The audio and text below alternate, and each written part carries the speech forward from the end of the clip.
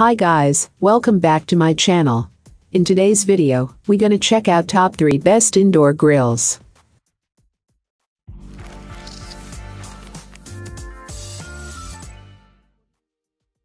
Starting at number 3.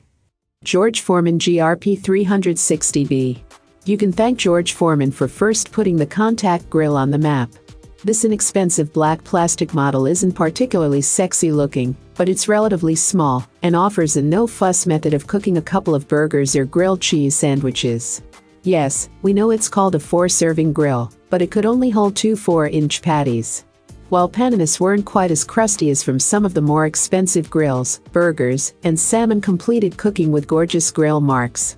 This model has only one heat setting, so it's a no-brainer to operate. With grill plates that pop out for thorough cleaning in the dishwasher, it's an improvement over the original Foreman grill, which required that you wipe down the plates. It comes with a simple removable drip tray that sits in front to catch the drippings as they fall from the slanted surface. Check out the description for more information and latest price. Coming at number 2. Hamilton Beach 25360. If you're dead set on an open grill, our first choice is the Hamilton Beach Searing Grill with lid window, which is big enough to cook six hamburgers at a time. Burgers, chicken, and fish came out with deep grill marks, closely resembling the ones you get from your outdoor grill. It helps to hold in heat to speed up cooking a little, and also contains smoke and cooking odors. The grill grate and the drip pan go in the dishwasher, and the lid comes off for hand washing. And number one of this list. Zojirushi EB-CC 15.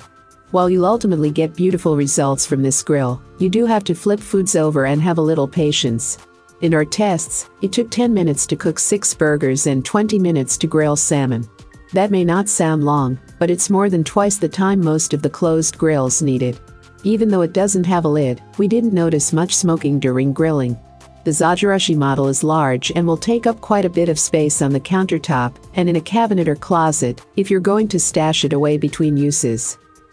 All of these items are available on Amazon. I have included all the links in the description. You can check out this links for more information and latest price. Thank you for watching. If you like this video, please hit the like button below, share with your friends, and be sure to subscribe.